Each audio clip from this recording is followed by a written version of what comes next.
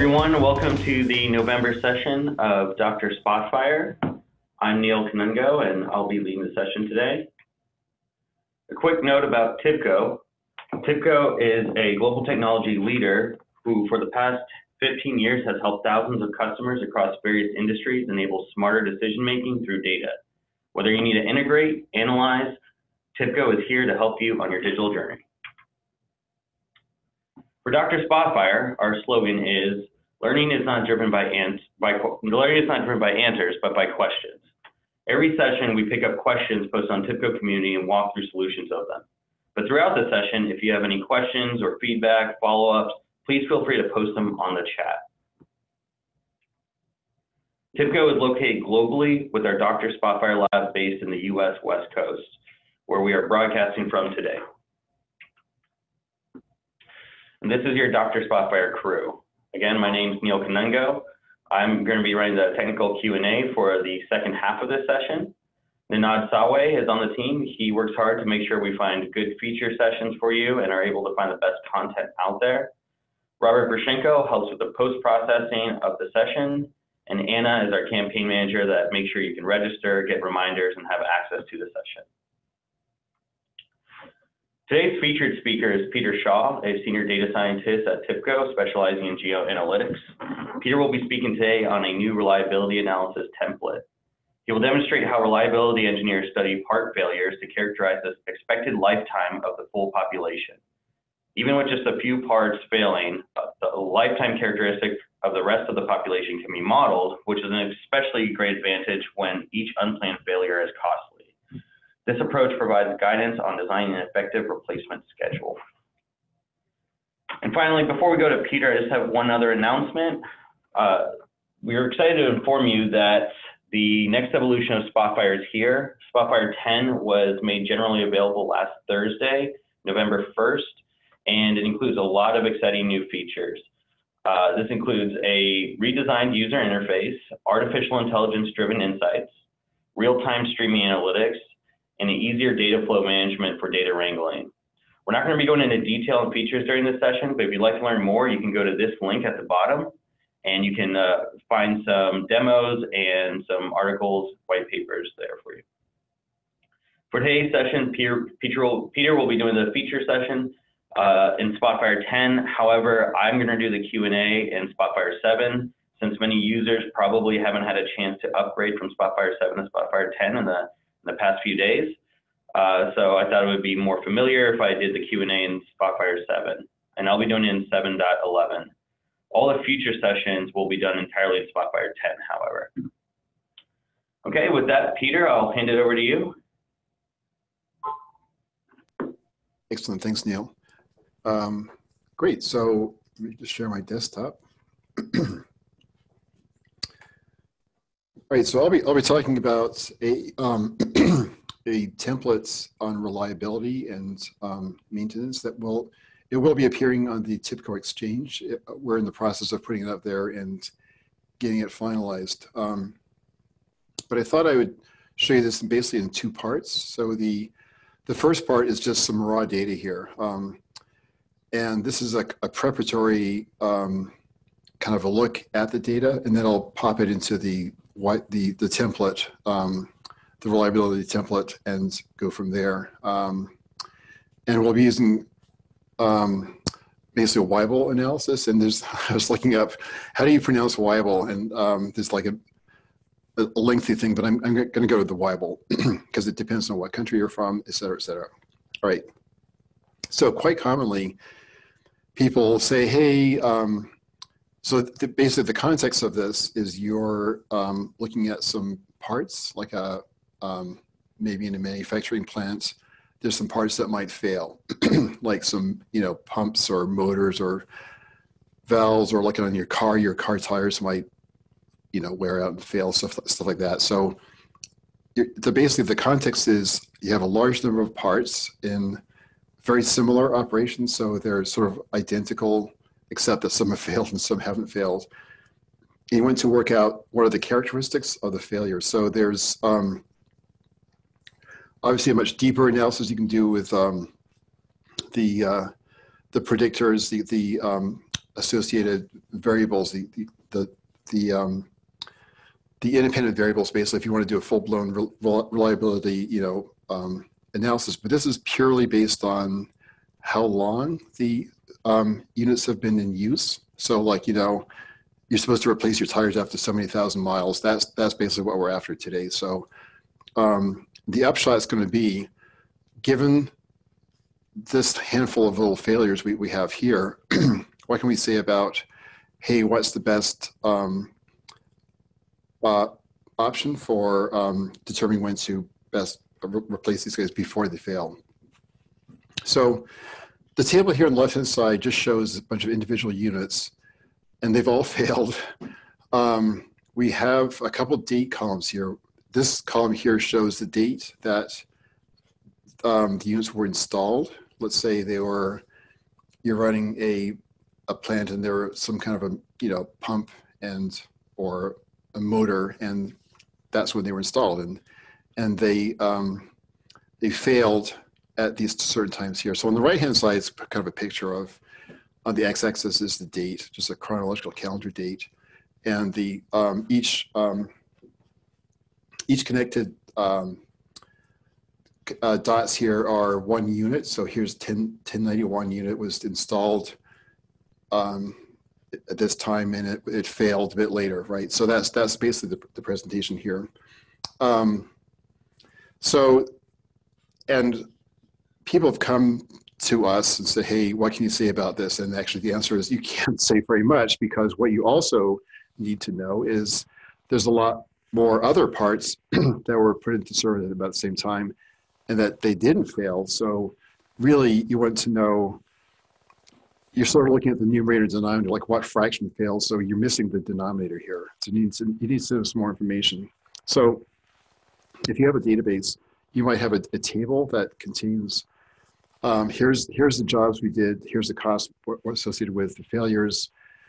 You know, there might be a special table just to list these failures. So um, you kind of have to ask the database folks, okay, can you give me another table that is basically a snapshot of all the currently in service um, units? Like, okay, so let's say these are, are valves somewhere, right? So it's okay, show me all the valves of this type that are currently happily working that have not failed. So it'll be, a bit of a different picture here. So let's go to the next tab here. So this is Spotfire 10. Um, and you'll see a different layout. One thing that's different is the tabs are along the bottom here. So I'll jump to the next tab here. And so what I have on the left-hand side, this is the data and the picture of the parts that failed. This is your snapshot of the database and the picture. So the picture looks pretty different, right? Um, the right-hand side, everything's lined up here because that's the date um, of the, the, the date when the snapshot was taken, the data snapshot was taken. So um, let's say it was taken basically like last week sometime, right? So you know all these other units were installed at some times they're they're in service instead of failed, um, and they all end at the same time. That's basically you kind of require that information to make any progress with figuring out what the characteristics are for failure and and the reliability. So we're, going to basically combine these two these two parts to um, to do our analysis before we send it to the reliability uh, template itself.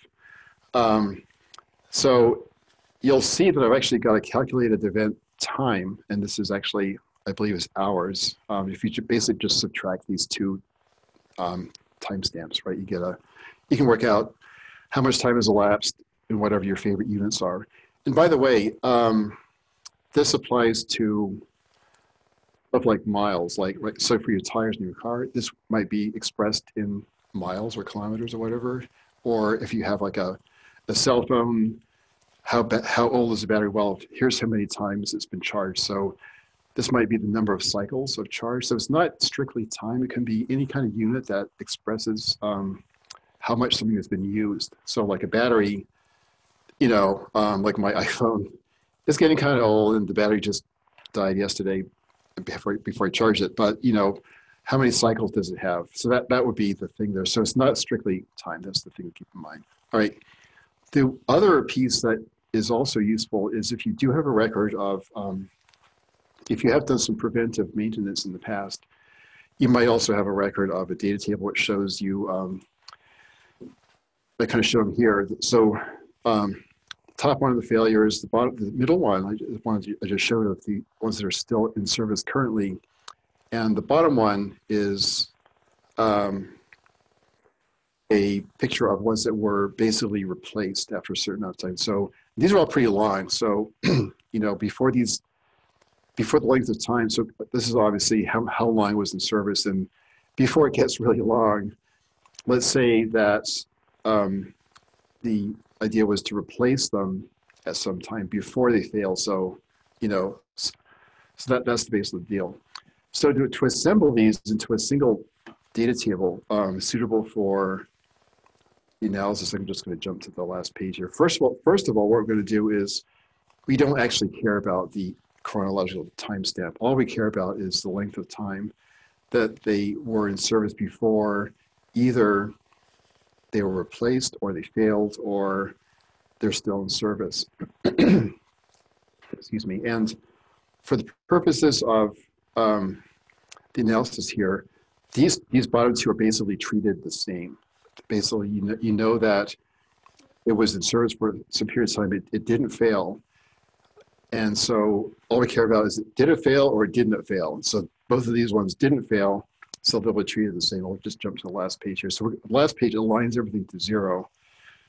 and I've also changed the colors and changed some of the symbols here. So I basically now, this is no longer chronological time. This is now the elapsed time in hours. So this is where if you have like your miles on your tires, it would be how many miles have you gone or how many times have you charged up your cell phone, how many cycles. So that basically it's it's now shifted over to the usage. And in this case, it actually is hours.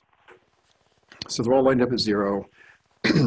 the um, white symbols when you've installed them. And one, th- one thing that people tend to do is they, they kind of like, you know, it's kind of useful to say, okay, we'll put a big red X, red, you know, for bad, and X's means it's been, um, it failed. So that's, that's the failure.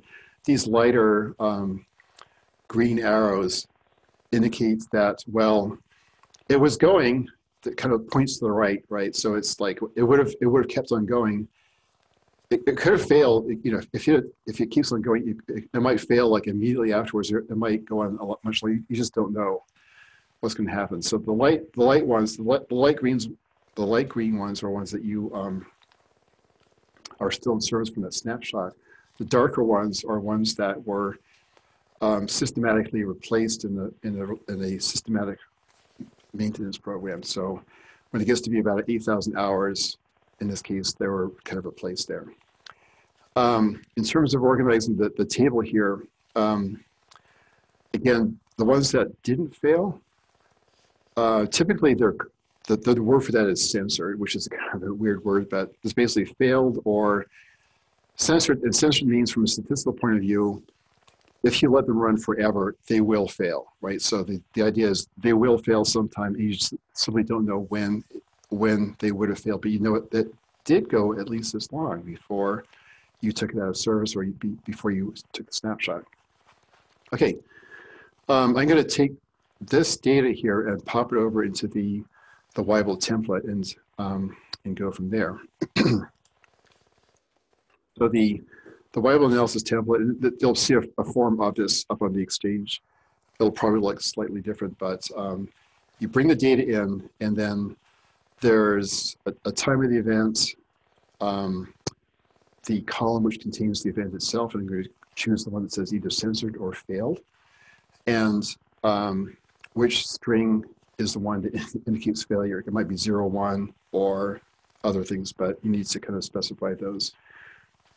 Um, and the probability level, I'll talk about in a moment, so they recompute this, which nothing happens because they need to actually go to the um, next couple plots. So here's the failure plot, which is basically what I showed earlier, where I have the, the red X's. So, so in this plot, the, um, the horizontal axis is, again, the time in service. It's not the chronological time, it's the time in service. So all of the this would be aligned to zero as before. So all of the units basically were installed at the left-hand side here.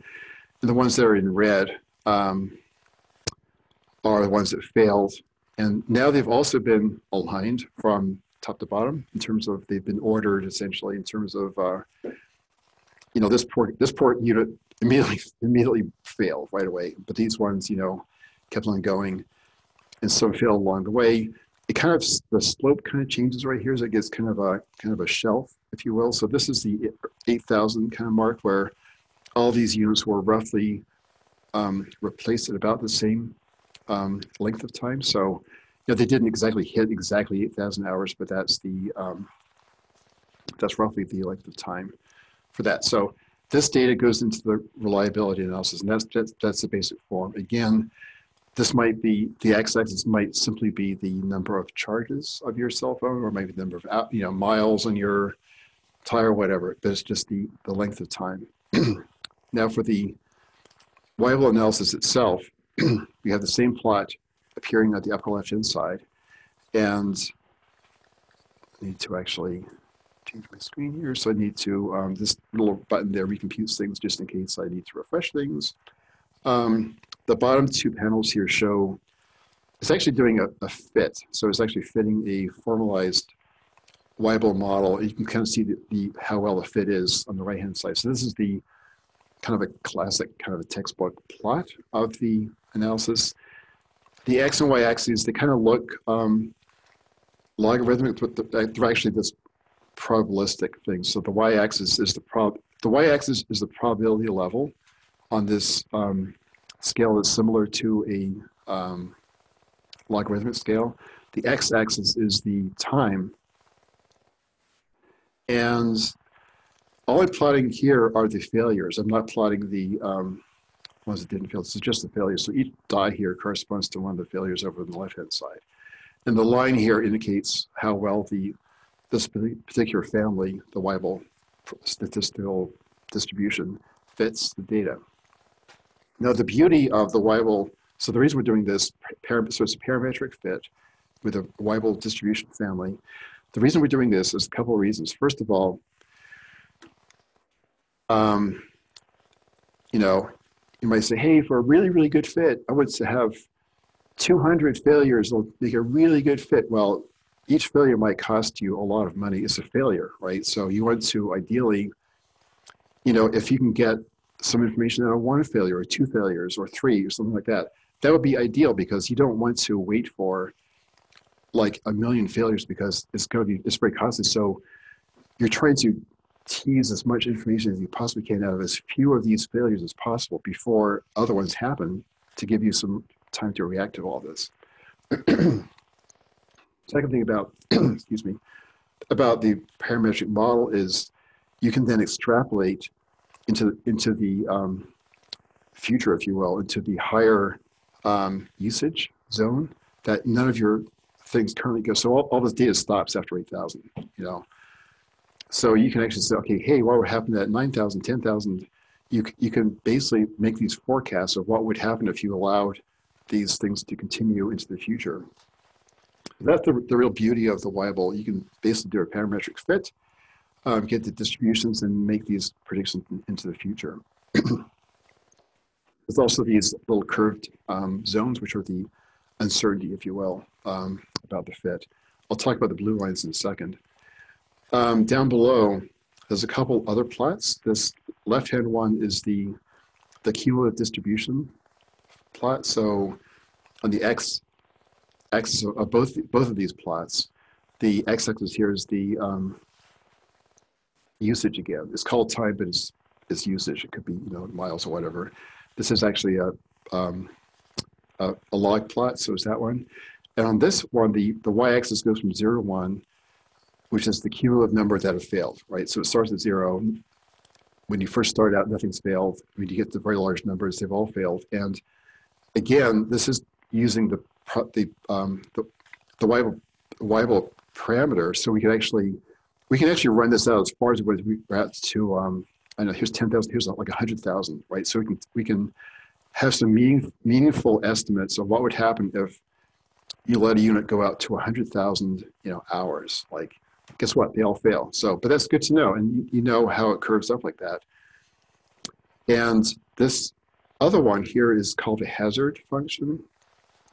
It's basically saying, it plays a game of, okay, let's say you're at, um, you know, 5,000 hours here. So all these ones to the left have already failed, and you have the model here. So of the ones, it's basically asks the question, of the ones that are still active, haven't failed yet, what's the, essentially the risk per unit time or per unit usage? And it, it- it's going up here. So um, the basis says, as you, as you get to, to these more, your greater and greater time intervals, you're basically talking about the very, very small number that haven't yet failed.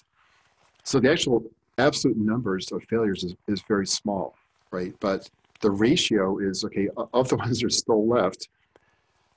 The odds of failing, given that you're out here, is much higher than the odds of failing over the same interval down here because you're wearing out. So basically, to look at, the thing to look at here is the slope is going up, which means it is basically a, a wear out mode of failure. Another mode would be a, one that c- down.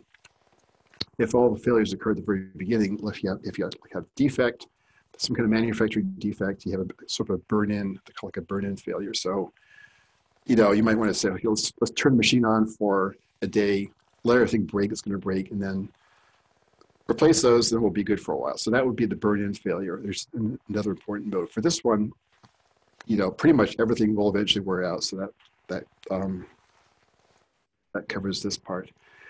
Um, now, these dashed lines here, the blue lines here, I've typed in a probability value of 0.16, and that value is, um, and the, the y-axis of both of these are probabilities. So that shows this little dot, that this horizontal dashed line or dot- dotted line here, um, where I've typed in the number, and it's the same as this blue line here.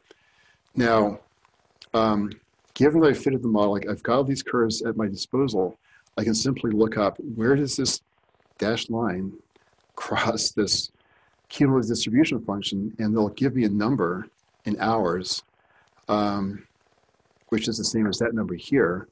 and that's the estimated. Um, so if, if I give it a probability, it'll tell me um, what the number of usage is. In, in other words, um, how many hours of, of usage will be where, in this case, 16% have failed.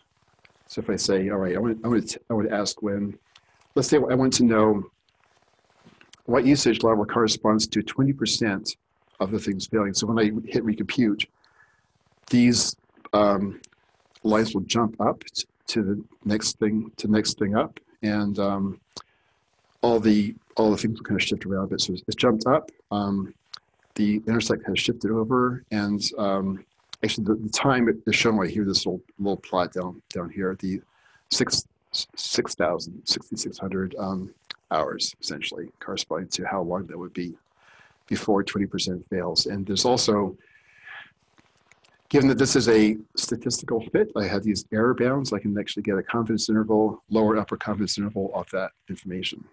So if you start from the point of view of, okay, I want to replace things when 20% fail. I said, all right, replace them at 6,000 units. I say, wait, wait a second, maybe I want to do it when only 10% fail. Because 20% seems like a high number, recompute. And this drops down to a lower number. Um, and that's only 3,000 um, hours of time before it goes. So this actually is a segue to the next part, which is optimal maintenance, which is to say, all right, how do you know?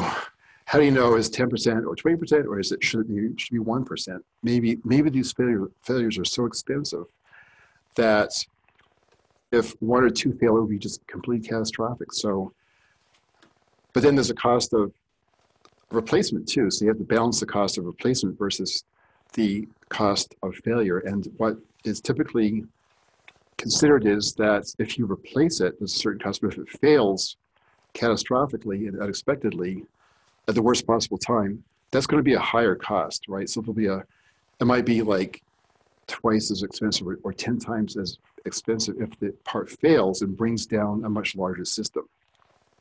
So, um, given these curves we have, we've done this great fitting stuff. We're going to actually jump over to the optimal maintenance part. And here you see that kind of trade-off balance I was kind of talking about. But to run through this, we have a blue line and a red line, and the sum of the two is this curved kind of green line here. So to start off with the, um, red line um, is basically the um, the sort of the cum- essentially the cumulative number um, that have failed. This actually would eventually curve over and flatten out, but we're only looking at the bottom part of the, of the thing here. Um, so the um, actually the y the y-axis here is actually cost in dollars, right? So or re relative cost.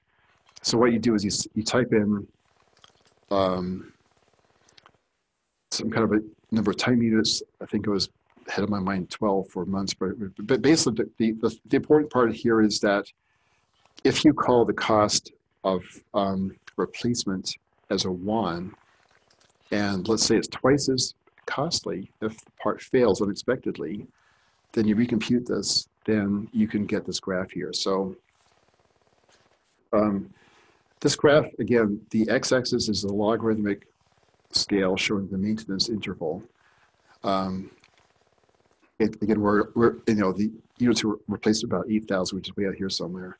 Um, so the the cost, the, the red line here is the um, the unplanned cost, right? So if you allow them to fail, if you wait longer, longer, longer, longer, longer between your um, planned maintenance, then your you know your costs will skyrocket. If you if you um, replace the parts very quickly, you can really clamp down on the unplanned costs and get this really under control.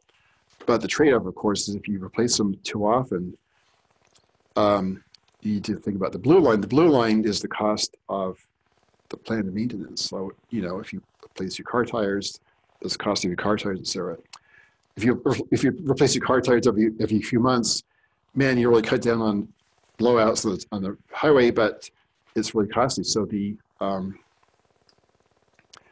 this one um, starts out high and you know it lowers down as you increase the planned maintenance um, intervals. You can really save a lot of money if you don't replace them very often, but you get killed by the unplanned stuff. So the sum of the two is your total cost here. So and you can look for the the sweet spot or the minimum of this thing and get that the the best maintenance interval here is 141, which is a lot lower than the um, 8,000, I guess. Let's say that the, and this, this, this is all made up data. So let's say that the cost for the unplanned failure is, um, let's say it's five times as much as the um, planned maintenance here. So I'm going to recompute this and everything actually basically shifts to the left here. The red part gets a lot steeper. The blue part's the same because it's the um, the same um, planned maintenance, but the, the unplanned got, gets a lot steeper. Everything shifts to the left here, so it really um, begins to lower the, the maintenance thing. Um, that's an interval of like a like 91. So um, that's basically the the current ending point of this um, of this uh, template. I'll get back to the thing here really quickly and to point out that if you other ways people use the Weibull framework is to say, all right, let's say I do enough. Let's say I have, let's, let's say I have a whole bunch of um, parts in service right now. Some parts started to fail. I want to know what's going on. Um, you know, I can do this quick analysis and, and characterize this. By looking at the cumulative number, I can say, answer questions like how, how many additional failures can I expect over the next week, right? So given that I've had this let's say there might be some part that has been failing more quickly than I was hoping it would fail. Um, how bad is the problem? How, how many how many more failures can I expect over the next you know month or two months or a week or whatever? So by taking all the parts that are still in service, looking them up on this cumulative graph here, and seeing, seeing where they'll be in a week, they'll be higher. And looking at the difference there, that's the difference in probability. So it's basically the, the probability of the, the incremental probability of failure. Words, so um, the point there is that you can do a lot of cool stuff with this, like answer questions like how many will be failing in the next, you know, period of time, and how much time do I have? If you if you first discover there's a problem, it'll help you plan things like, okay, how bad is this? How much time do I have to um, to fix things before a lot more start to fail? And maybe maybe you're maybe you're discovering things before it really ramps up. So maybe you're discovering some very early failures in some part that will have a lot more failures coming up soon. So it's basically questions like that that this whole analysis can be um, brought to bear to um, to help you solve the problems.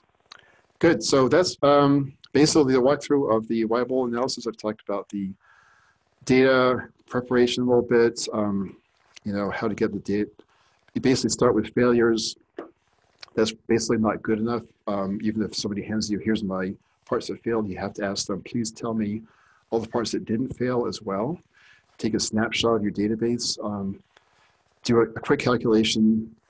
Um, they probably won't have the event times. You have to calculate this yourself. It's basically just subtract these two numbers to get the um, usage.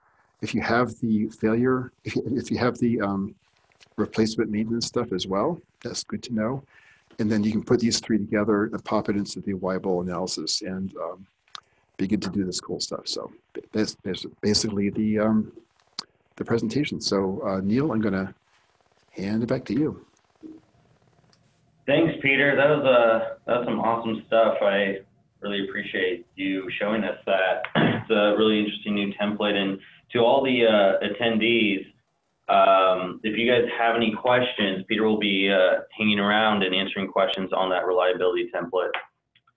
I wanted to show you guys um, before we go into the Q&A this this TIBCO community page on manufacturing solutions. There's a lot of great content on here, um, specifically for the manufacturing industry, but it does include some uh, reliability analyses. And uh, there's some links to some different templates here as well. If you guys want to find templates, remember in the exchange, uh, you can go to Spotfire and you can find a lot of these templates, um, including the analysis that Peter is, has just shown you. So with that, I'm going to move on to the Q&A. First thing I want to go over is uh, remind everyone how they can post their questions and get them answered by Dr. Spotfire. Uh, you can tweet your question with the hashtag Dr. Spotfire, and we monitor Twitter for that. You can also post your question to the TIBCO community answers section with the hashtag Dr. Spotfire. Uh, or you can contact Dr. Spotfire directly at drspotfire at tibco.com.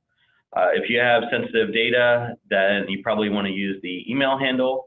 Otherwise, um, you can post through the community answers, and we can and we and we prefer to answer it there so other users can benefit from the answers. So now we'll move on to the questions. Uh, the first question is how to get records between a selected year and month. And this was posted by Sunil, who uh, did a great job attaching the data and some sample DXPs uh, that really helped me uh, see what he was trying to do. And he gave me a little uh, screenshot here, a little diagram of the type of dashboard he was trying to create. And essentially what Sunil is doing is he wants a start and a end date that the user can select from a, a, a dialog window, um, a, a click window. So they would select the year for the start and the uh, month for start, same thing for end, the end date, and it would show these graphs. So I, uh, I, I created this visualization. I'm gonna I'm gonna walk through the steps of how to create such a visualization. Um, he also wanted to show between these dates any new customers that were, were found. So for records where there was a new customer um, or an existing customer that had new shipments, uh, only show the new values. So let's see here. Seconds. Okay. So this is the data that Sunil sent. And the first thing I want to do is I want to be able to get the month and year values out of the date. So I will add a calculated column and I'll add month and I'll choose the date column. And this gives me month. You can preview it here. And Spotfire is recommending this month expression as a date part data type. And so it actually recognizes those integers as January, February, March, April, May. And I'm going to do the same thing for year to extract the year value out.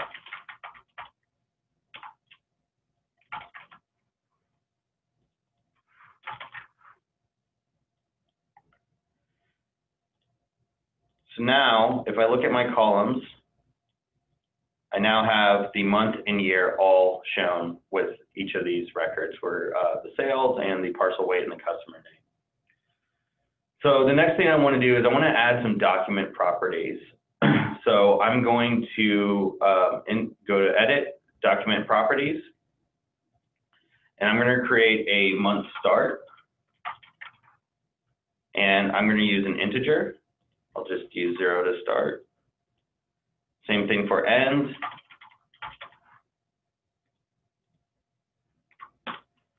Year start and year end.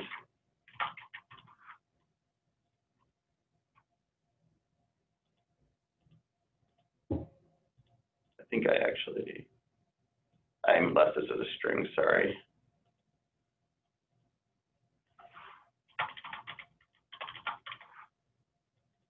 Make that an integer.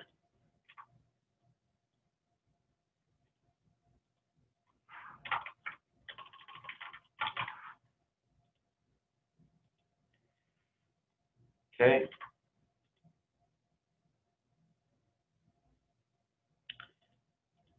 And for, let me just double check this. Okay, good. So they're all integers. Now I'm going to create a text box. And in this text box, I'm going to use uh, property controls. So the property controls allows me to create a drop-down list. And I'm going to use a month-end drop-down list and a month start drop-down list. I'm going to do this. I'm going to start actually with a month start, and I'm going to use the uh, the unique values in the month column.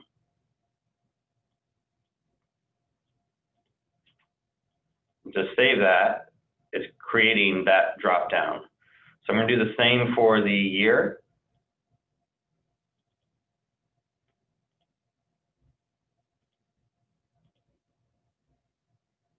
unique values, and I'm going to do year. Right here, I'll just write start, and I just need to do the same for the end. So, see, unique values. And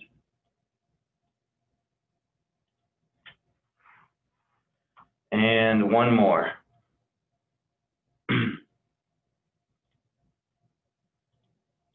Drop down list, year end, and I'm going to do unique values and year.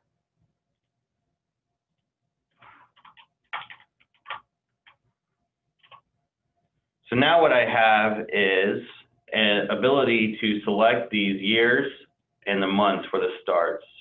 So January 2018, let's see, or I'll do 2016 and I'll end on March 2018. But I need to tie this to my visualizations as well. So uh, what I can do is on my document properties, I can go to data and I can add a limiting expression. And I want to find the dates that are between these two ranges. So I created this expression, which I'll walk through real quick. What it's going to do is look at the date column. If it's greater than or equal to, and then this is a date, I'm constructing a date here using the date function. So the date function has the syntax where you can add the year, comma, the month, comma, and the day. So I took my year start document property for my year. The way you do that, I'll show you is you, you, go to year start, you right click and you go insert as value. I did the same thing for month start. I did, I right clicked and I did insert as value. And then I just picked the first day of the month. Uh, Sunil didn't uh, specify what day of the, uh, what the, if the day of the actual start and end date should be in there. So I'm just using the first date of the month through the first day of the end month. So if it's greater than the start date and it's less than or equal to the end date, then show those values. So we're gonna hit OK, hit close. So now it's only showing January through March for the values that are available. Now, to create those charts, um, I can duplicate this visualization. I'm going to switch it to a bar chart.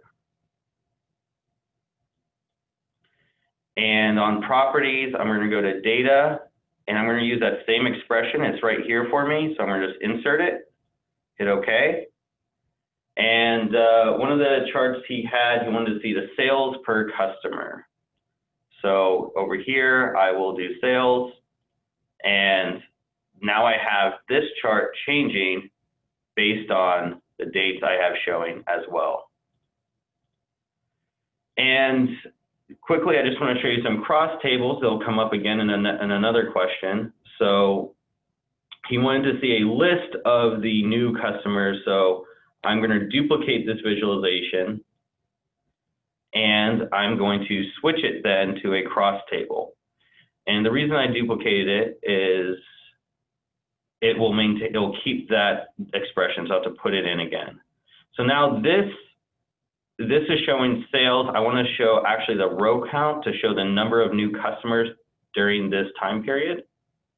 So as I change this, you can see the number of new customers. And just to show you that's the number of new ones, if I duplicate this again and I go to data and I remove the filter, this is all the customers and all their counts. And then this is just the changing one. So now you're seeing the new value there. So that's question one. Uh, thank you, Sunil, for your question. Um, I did a little bit more here. If you guys want to look, you can change the parcel weight as well. Um, and there's a few different charts, Sunil, that you had requested. So if you just look at the column selectors I, I showed. So question two um, is a dynamic fiscal quarter. So for this one, um, the user wanted to use the fiscal offset feature in Spotfire, but for for changing fiscal years. So let me pull up. Here we go. Okay, so if you guys weren't aware already, um, if you have a if you have some dates and you want to show them um, based on a fiscal year, you can use the fiscal year hierarchy right here. Now, if you go to document properties, there in every document there is a fiscal year offset where some companies companies are allowed to choose whenever they want their fiscal year to end. So if one one maybe wants to to have it end in November, you can hit OK, and now it'll actually shift it. So Q1 is now in December rather than Q1 being uh, starting in January. So if I go to zero here, it'll shift it by the number of months. Now Q1 starts in January, Q4 ends in December. But how do you do this dynamically? This is only a static way to do it. So what you're going to do is um, you're, you're going to create your own fiscal offset by going to calculated column, and you're going to use this expression. And I'm going to preview it. So what this is doing is it's taking the month of the fiscal year end, I'm doing it from the end, and um, it's subtracting 12. I have these uh, six companies, they all have different fiscal year ends or mostly different fiscal year ends. So I want to see the month of what this column is. I want to see, see this month, and I want to subtract 12 from it to get that offset. So I'm creating a fiscal offset.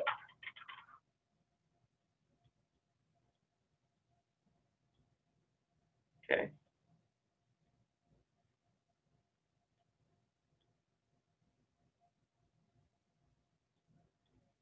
Now, just to show you what's happening here, I'm going to add these new columns automatically.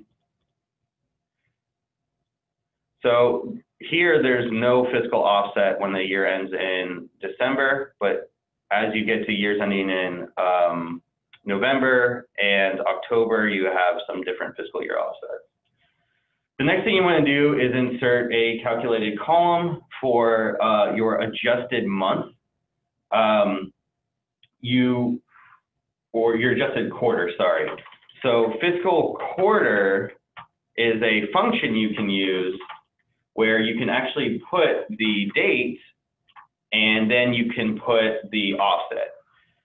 Now, and one of the things with Spotfire is it only accepts a static value here, an integer value here. So if I wanted to actually do this by each of the columns for each of those fiscal offsets I just created, it won't actually work.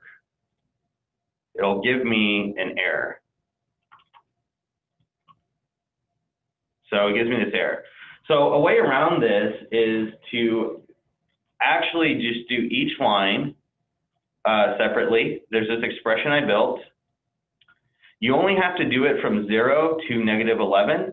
And what it's going to look at is the case when the fiscal offset is negative 11, then it will just use that static value in that expression. Fiscal quarter, date, negative 11. And you just do it negative 11, negative 10, all the way up to 0.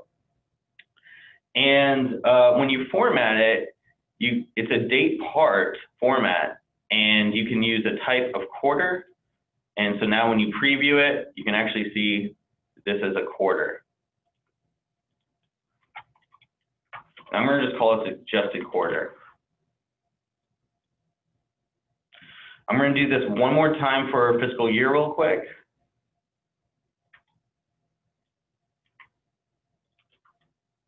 So this is now using the fiscal year, not fiscal quarter function.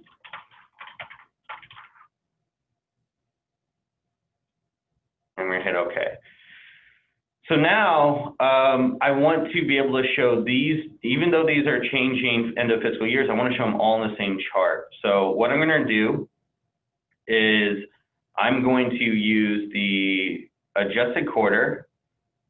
I'm sorry, I shouldn't have used, just so it's not confusing, I'm going to actually rename this as to adjusted year.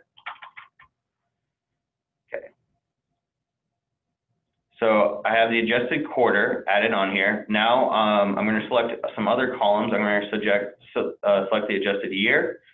So I want it in this hierarchy, so 2018, and then I have above the years I have the quarters. The other, th the last step I want to do is to create a hierarchy by right-clicking and going and going create hierarchy. You can now use this slider to look at years and quarters. And hierarchies can be created not just for fiscal dates; it can be created for any columns. You can create these hierarchies. But I wanted to show you this. Now this is behaving in the same way that the default fiscal year uh, function was. Okay, I'm going to move on to question three. So question three wanted, it has a, a user, Ajay, he wanted to have a slider, um, a filter slider that would lock in at 12 months. So not allowing users to select, you know, six months or seven months or 13 months. Um, so what I'll show a quick way to go through this. One second here. Okay. So here is um, Ajay's, uh, I, I, created actually some fake data uh, with just some shipments and these dates. I just used the first of the month um, from October 15th through October 28, or October 2015 through October 2018. Uh, the first thing we're going to do is create a text box. And I'm going to add a, keep doing that, I'm going to add a property control. And I'm gonna add a slider. So here I need to create a document property uh, for this slider that whatever value the slider is, it will write to this, this value. So I'm gonna just call this a start date. And I'm going to make it a date data type. And I'll just put May 1st, 2018 on here, just for a starting value. Oh, um, yeah, yeah, yeah, that's right. And then what I want to be able to do is set the property through unique values in the date column. So this is going to pull off that first column I had of all those dates uh, from October 2015 through uh, October 2018. I'm going to hit OK. And we're going to hit save. And I now have a slider here for one for a date, right? But it's not doing anything. And I'm going to just write start date here.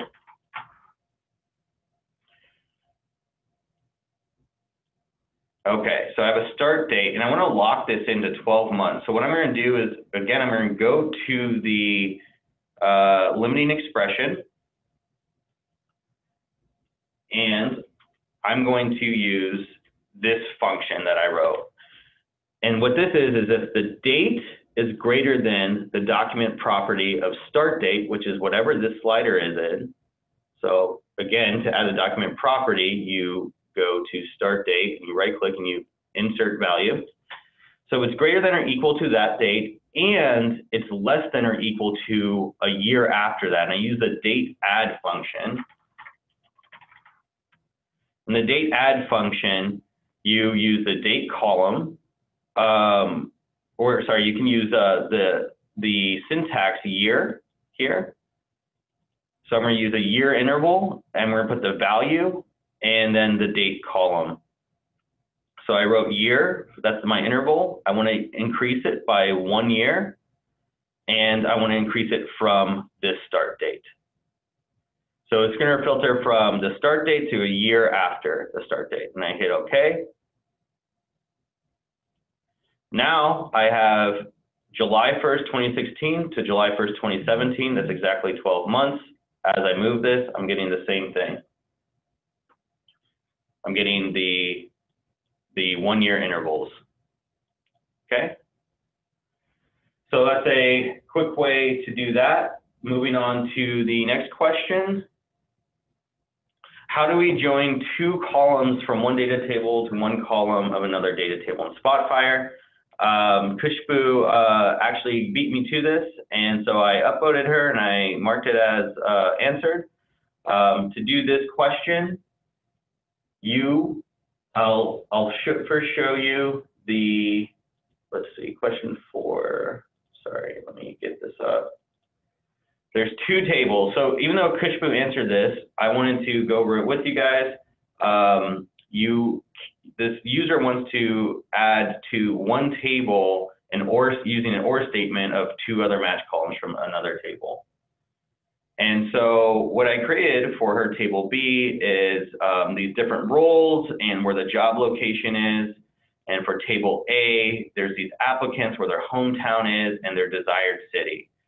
Um, so what you will do is you will unpivot and then you will match with that, uh, that table B column. So let me pull that up here. I've added the table B in. And what I'm going to do is add now um, insert columns. And I'm going to select from that table A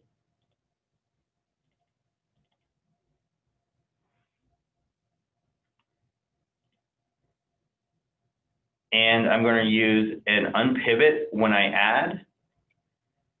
And I want to pass through applicant, and I want to